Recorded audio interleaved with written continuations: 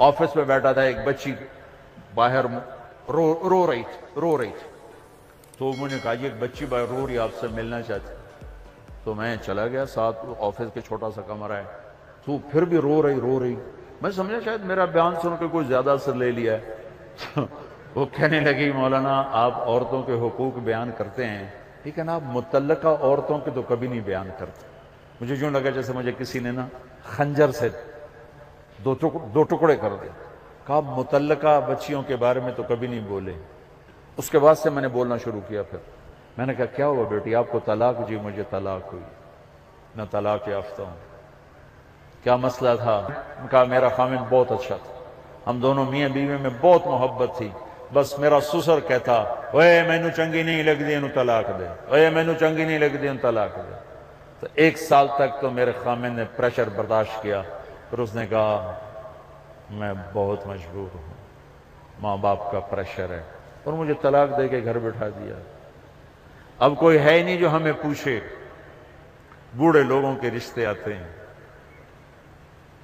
متعلقہ بچیوں کو پہلے دیکھا کرو۔ بیوہ بچیوں کو پہلے دیکھا کرو۔ میرے نبی نے متعلقہ بیوہ عورتوں سے شادی کی، صرف ایک کماری سے شادی کی۔ اور ہمارے یہاں اطلاق کی ہوئی ہے، انت طلاق ہو گئی، انت طلاق ہو گئی ہے، انت طلاق ہو گئی۔ ننانوے فیصد ظلم لڑکے والوں کی طرف سے ہوتا ہے۔ ایک فیصد لڑکی کا ہوتا ہے نادانی، لیکن اکثر لڑکوں کا ظلم ہوتا ہے۔ وہ رشتے تلاش کرو جو بچیاں بیٹھی ہوئی ہیں۔ کہیں بچیوں کی شادیاں ہو گئی ہیں، بچہ ساتھ لے کر گئی ہیں۔ یا نوجوان چھوٹے بچوں کے ساتھ بیوی فوت ہو جاتی ہے، تو وہ دوسری شادی کرتا ہے، تو نئی ماں آتی ہے۔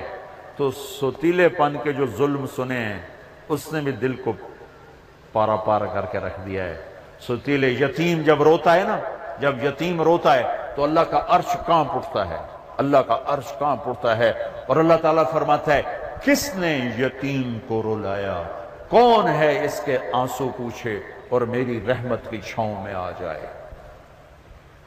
جہاں کہیں باپ کہیں باپ سوتیلا ہے، کہیں ماں سوتیلی ہے۔ اللہ کا واسطہ دیتا ہوں۔ اللہ کی رحمت کی چھاؤں میں آ جاؤ۔ سوتیلی اولاد سے حسن سلوک کر کے متعلقہ بچیوں کو پوچھو۔ اس کے بعد پھر میں نے اس یہ حدیث میں نے پڑھی تھی، بیان نہیں کرتا تھا، بھول گیا تھا۔ میرے نبی نے فرمایا تو میں سب سے اعلیٰ درجے کا صدقہ بتاؤں۔ سب سے اعلیٰ درجے کا صدقہ بتاؤں۔ سب سے اعلیٰ درجے کا صدقہ جی کیا؟ کہ جس کی بیٹی کو طلاق ہو گئی اور وہ گھر آ کے بیٹھ گئی۔ اس پہ خرچ کرنا سب سے اعلیٰ درجے کا صدقہ ہے۔ اللہ ایمان والی عورتوں کو جنت کی عورتوں پر بھی غالب کرے گا۔ اچھا دوستو، ویڈیو کو دیکھنے کا بہت بہت شکریہ۔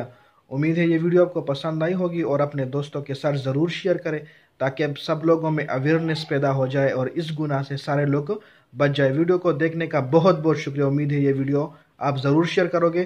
والسلام۔